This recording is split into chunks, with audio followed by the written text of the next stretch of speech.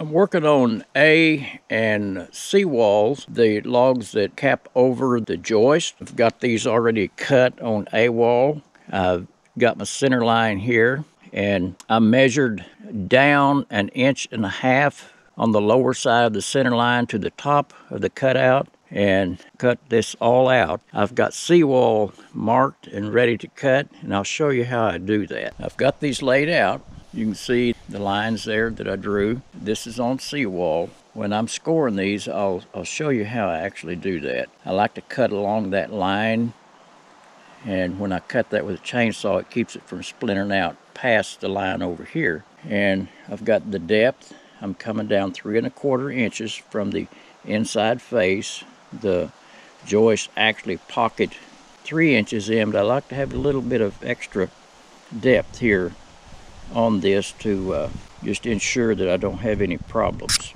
I've got my layout chart here. I went up and I measured everything to the edge of the, the joist on the top and laid it out on my log. This is 9C. I transferred all my numbers that I had written down to the log and I'm using a, a this small steel square and I've, I've made my marks here what would be the top of it and the sides. And I like to score this with a steel square. I don't like to use an aluminum square. I like to use steel because it, it just seems to hold up better. But as far as scoring, I'm using a, a utility knife, which is really sharp. And I like to lay my square up on that line and just cover the line with the square just where I don't see the line and then I'll I'll score it. Just make a few marks there to uh, put a little cut in that and I do that all the way around. And so when I'm, I'm coming through here with my chainsaw I'm not going to uh, splinter out here. This right here will be cut out. And so I always put my square on the line and cut and make the score mark on the waste side of what I'm going to cut out. To get the depth of my cut, like I said, I'm going three and a quarter inches to give myself just a little bit extra. I just lay my square up there on top and I'm marking three and a quarter here and three and a quarter here and I just draw a line across there so that let me know where to plunge my saw. And if you see this line right here is connected to the actual shoulder. And I've got another line drawn here that's coming in at a, it's at an angle. I like to give myself a little bit of extra here and here so that when I set this log down and it goes straight down over the tops of the joist, I'll just be touching right here and here. And that gives me a little bit of room to play with there.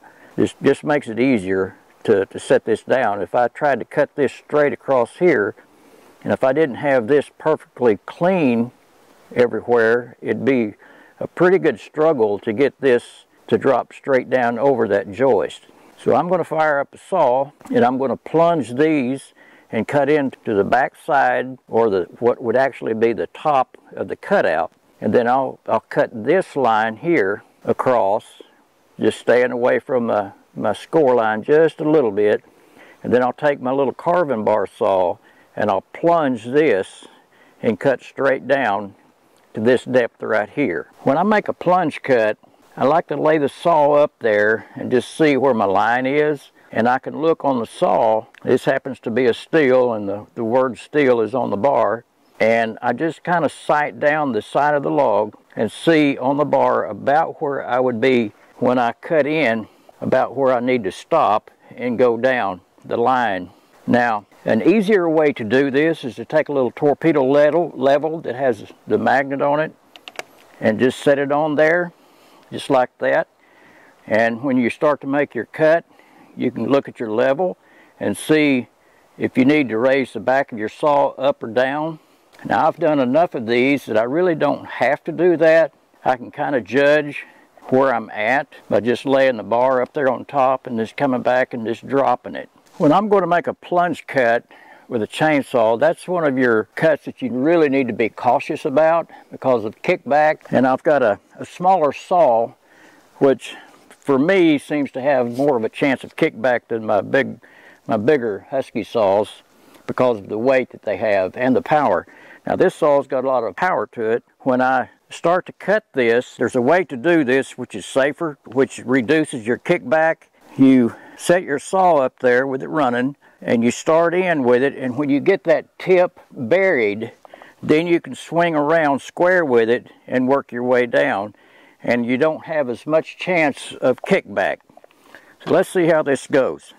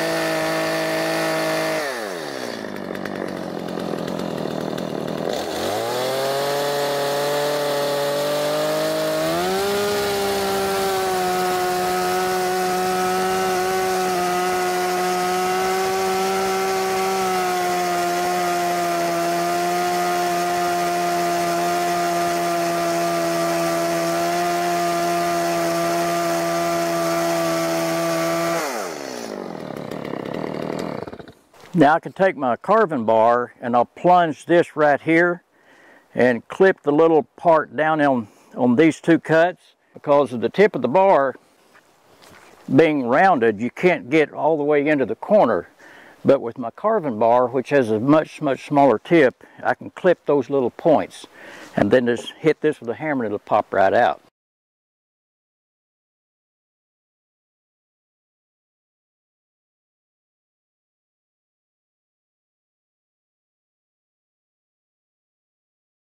I've been cleaning out the back side of this cutout here for the joist and what I'm doing is I've got my tri-square or combination square just I've always called it a tri-square. I've got it set on three and a quarter which is the depth that I cut these and I'm just laying it on top and checking to see where I need to clean up right in here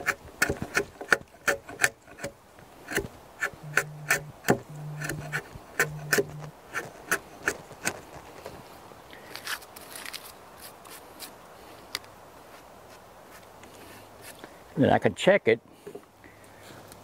Right there, I'm really close to it. Pretty much all the way around, actually.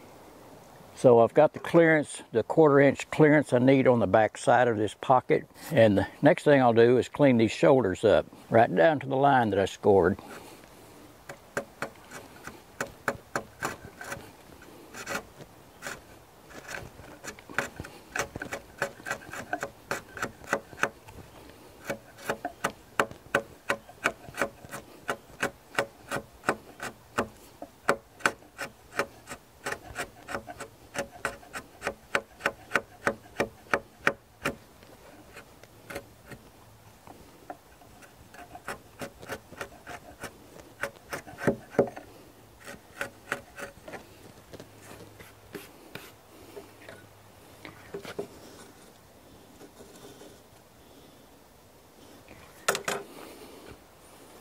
Yeah, I've got a good clean shoulder there.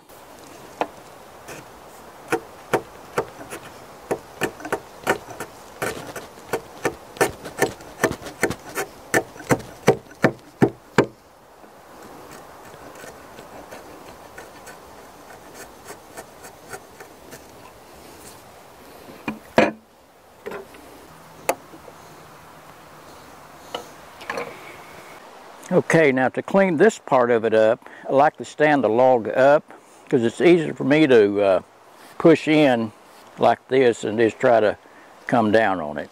There's something else that I wanted to show you on these pockets. Well, after you do your plunge cuts, I don't get right up against the line when I'm doing that. And what I've done here, I've taken my chisel and I've pared right down to the line that I scored.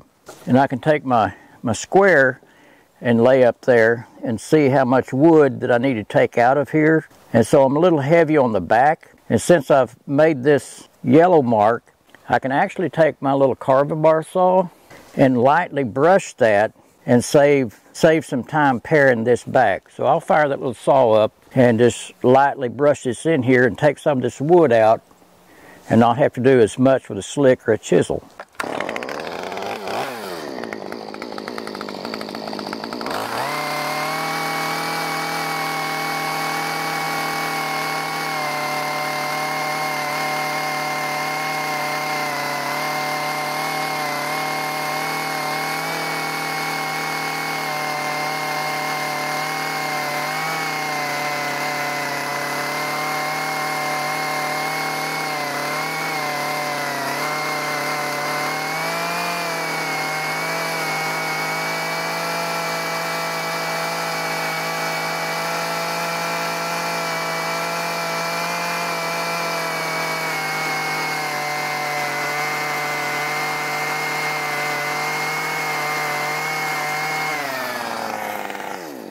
I'm in good shape there. All I have to do is just a little bit of cleanup with a chisel and I'll have that one finished.